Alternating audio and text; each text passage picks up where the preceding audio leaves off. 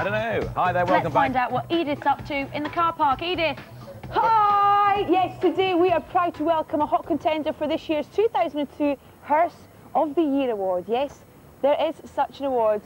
Come on, mate, come and join me. And um, our hearse today is driven by the Reverend uh, Reverend Paul Sinclair, our very own Faster Pastor. Did you get it? Um, hi, welcome to the show.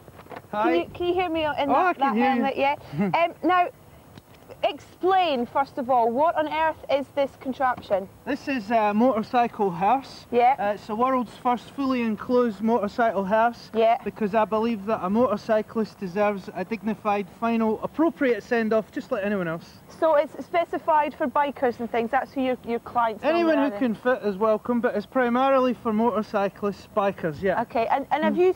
Is this done to your specifications? Have you custom built this? Yeah, the entire thing's custom built. It's a British motorcycle, but all this is custom uh, built. Even the bike's been radically altered. With a number of engineers involved, former Norton engineer called David uh, Hancock, and different people have helped me uh, to bring it to where it is today. Okay, right. Take us round and show Right. some of the special features Okay, of this. basically this is the most dark. important bit. This is where the funeral director sits. He On the sits- back of the bike. He sits behind me and he holds on very tight, believe me.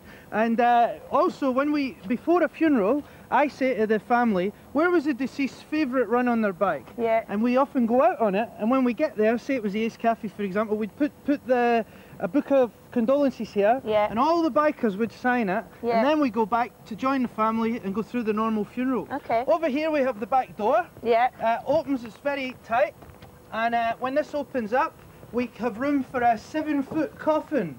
Uh, it should take over, over a ton in weight, which is probably your average biker. Yeah, he's quite large, quite large bikers, aren't they? So that goes in there, and then under here I have uh, uh, some room for my trestles, uh, for all my waterproof clothing, my cleaning materials, and of course my sandwiches. Now, some people might say that this is quite bizarre and slightly dark. What would you? How would you answer them? Very, very simply, years ago, people used to have a dignified send-off by a horse and Yeah. a carriage.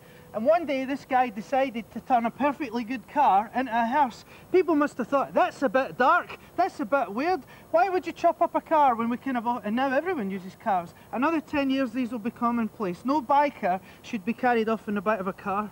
And how busy are you? Uh, fairly busy. Listen, thank you very much for coming and chatting to us. Thank you. Cheers.